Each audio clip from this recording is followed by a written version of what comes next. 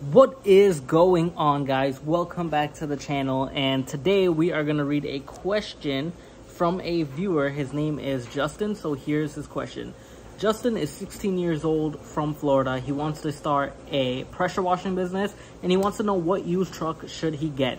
So Justin, um, here is a couple trucks that I would get if I were you. One, um, Chevy Avalanche, of course. That's not because I have one. It's because I, well, because I have one. Um, I know how they run. I know how good they are. So I know how much, I know how they last. Um, second one, a Ford F-250. Ford, the Fords, the F-150, 250, 350. Those are good vehicles. I think they, they're good. Um, obviously, I think the Chevy's a little bit better. That's in my opinion, but uh, Fords are really good as well, truck-wise. The next one, Honda Ridgelines, they're also good. Basically a Pilot, but they're good. But let me give you a reason why. Um, the Pilot and the the Ford, they're like basic kind of trucks. I mean, the Pilot opens its mid its tailgates two different ways and has some storage underneath.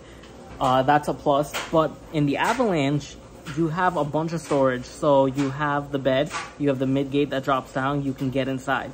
You also have the two saddlebags on the side for storage as well. So you can put all your um, soaps, you can put any little um, equipment pieces that need to, to, attach onto the pressure washer, whatever attachments and stuff, nozzles, all those stuff can go inside the side compartment so you don't lose them. Uh, the pressure washer itself can go in the back of the bed and you can cover the bed with the covers. Uh, they also break down. The midgate you know, you can drop the midgate down to store your tank if you want to, or pull a trailer holding your tank. Um, there is a guy I know who actually does uh, pressure washing. I think he told me his, oh, and the Tundra. Tundra is a good vehicle as well. Um, he actually uses a Tundra for his, and he pulls like a 40, like a 4,000 pound um, water tank with the Tundra, and it's pretty impressive that that truck pulls the trailer, that tank full of water, the, all of all of his equipment and everything. So, um, Tundra is definitely something to look into as well. But the Chevy Avalanche can definitely pull that. I'm sure of it. Um, depending on how messed, if the frame is messed up and stuff like that, it ain't pulling nothing. But if it's a good frame, it's strong, the motor's good, transmission's good, your everything works, it's gonna pull it. Um, you also have the tow mode option, which is cool.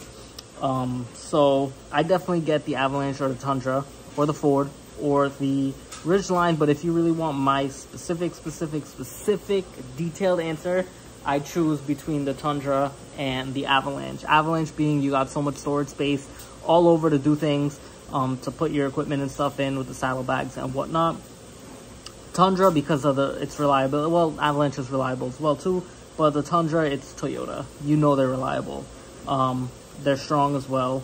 Uh, same category as the Avalanche, except it doesn't have as much storage space. It just has its bed. Uh, but everything else can go into the trailer. So you didn't tell me if you're planning on pulling a trailer with this. If it's just the tank, uh, the pressure washer, and the attachments and stuff like that, I definitely say get the Avalanche because everything will fit onto that truck. So um, let me know what you choose in the comment section below. Guys, if you have any um, advice to give this guy, definitely leave it in the comment section below. We would definitely appreciate it. And if you like this video, please give it a quick like.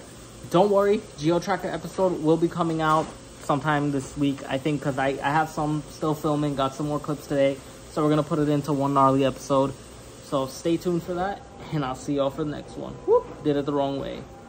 Peace.